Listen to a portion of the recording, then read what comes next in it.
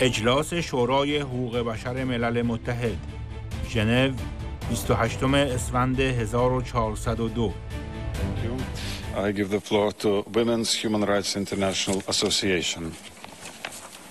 Thank you, Mr. Vice President. I appreciate the fact-finding mission's report and all efforts to expose the crimes of the Iranian regime which try to relabeling of the crimes brutality as crimes against humanity. While acknowledging your valuable work, I must acknowledge that despite these strengths and factual nature, your report only touches upon a small fraction of the regime's crimes and exposes them. Thousands of youths have not been able to testify as they are Sorry, still under have a point of repression, torture, Uh, distinguished delegate of Iran, you have the floor.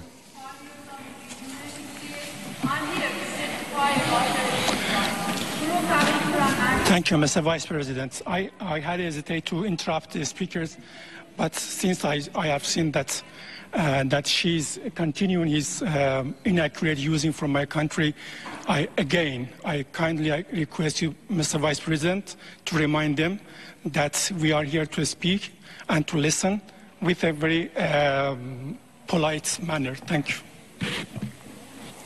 Thank you. And may I request that all delegations to deal with that, that all delegations to deal with human rights issues with dignity and respect and to adhere to the well-established principles of the United Nations. Uh, with this understanding in mind, I give the floor back to the speaker. Of youths have not been able to testify as they are still under repression, torture, and threat. As a former political prisoner in Iran with five years of imprisonment experience, I'm here to testify about the regime's crimes. Forough Taqipur and Marzi Farsi, who were detained after the uprising, were each sentenced to 15 years in prison.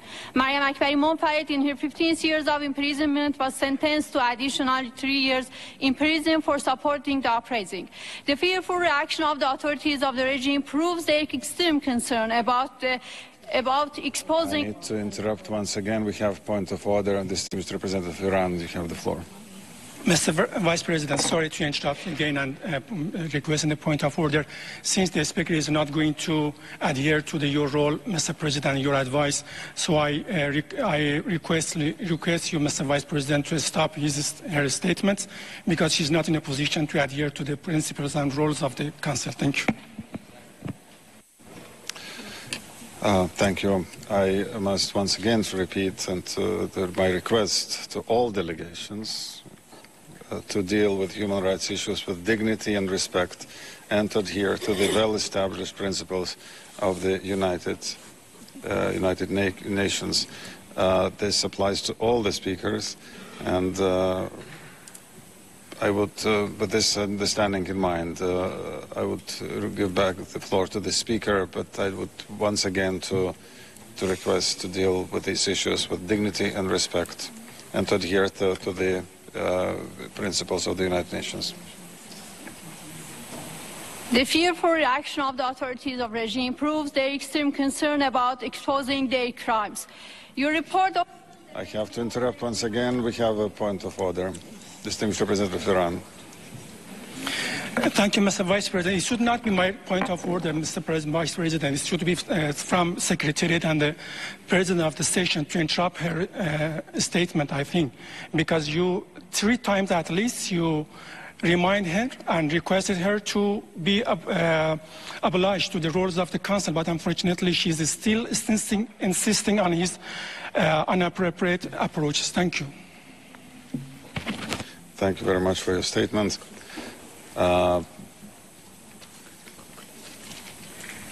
we have the established uh, list of speakers, and uh, we have to follow this this list.